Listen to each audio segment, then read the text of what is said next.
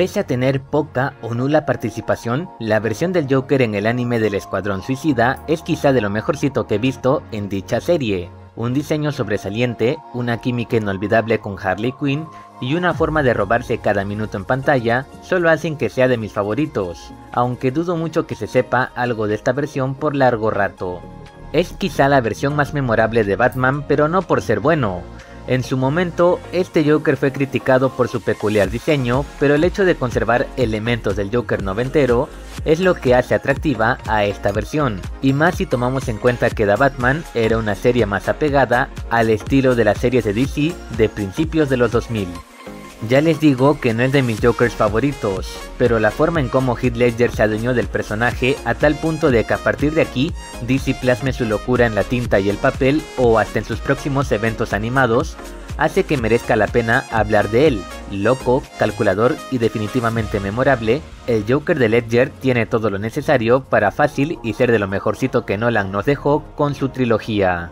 Con ustedes, el verdadero y único Joker del universo Arkham. Este Joker es una mezcla de lo visto en la trilogía de Nolan y lo visto en la serie noventera de Batman, tomando en cuenta que se conservó a Mark Hamill como voz del personaje. En verdad es una versión que difícilmente los videojuegos superarán, pero que lamentablemente DC no supo respetar con cierto proyecto.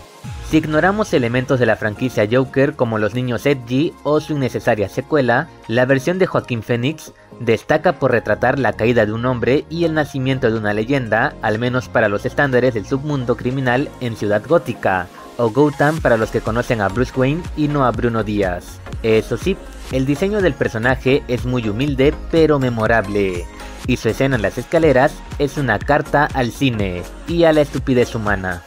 De lejos, la mejor versión del Joker, al menos para mí.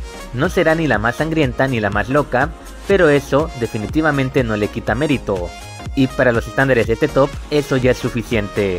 Carismático, calculador, pero sorprendentemente de muchos modales como para solo atacar si Batman responde, o pagarle al fisco, el Joker de la serie noventera de Batman tiene todo lo que sorprendentemente no se quiso abortar en el cine, y eso que esta versión rescató elementos de la versión de Jack Nicholson, la mejor versión cinematográfica si me permiten decirlo.